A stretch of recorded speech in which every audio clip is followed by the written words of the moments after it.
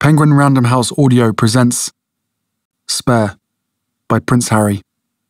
Chapter 1 One day, I jumped into a car. Sadly, I got a flat.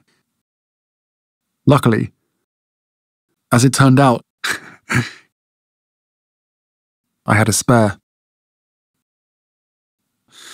I am the master of jokes and chuckles.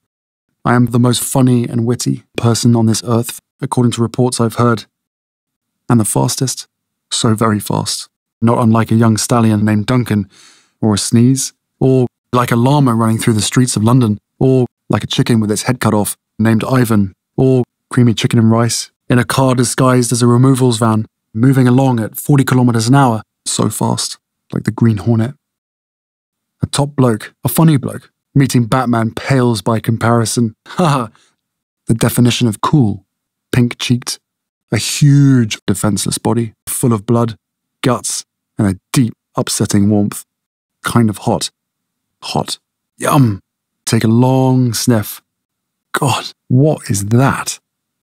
Me, aka me.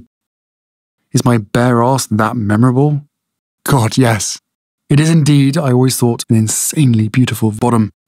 No smells, no wind, no sharp corners or distinct features, one sharp, thunderous crack. Two big cheeks, browned by eons of sweat. Oh, yes, works of art. My smile, bring, my big blue eyes, mmm, my love of people, chugga chugga chugga. Best of all, I am the most brilliant boy. I'm rather special, yeah. Possibly the most special of all the specialness boys. A specialty. A special specialty with a special spaghetti bolognese boy. That's what they say about me, Henry Charles Albert David of Wales. Otherwise known as, uh, yes please, dot com.